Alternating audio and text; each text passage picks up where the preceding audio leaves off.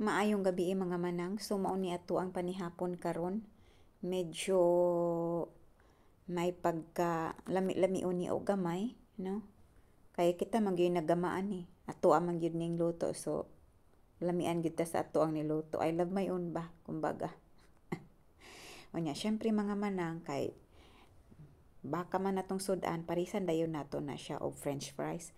Haron pod ingnon nga napunta sa restaurant, no? Pero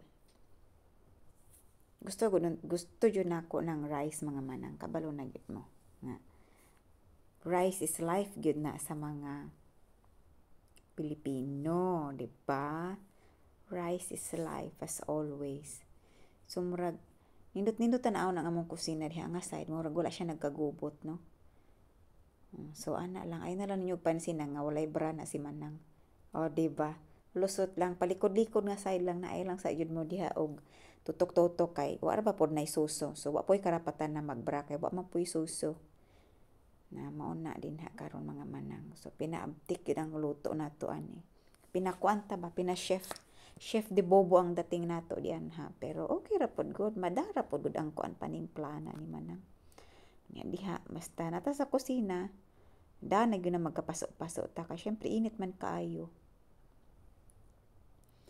Nya maning kamot pud nga medyo arang-arang pud og naong ato ang kuan ato ang pagkaon di ba? Dili lang kay ato lang nang i-dumpling kaon. Ato ang lamian nga beef steak with rosemary fresh na rosemary akong gigamit mga manang sa paside paside side lang ba di ba? Murag true murag true nga to sinara so mo na ang ato ang final look sa ato ang panihapon very good Bon appetit!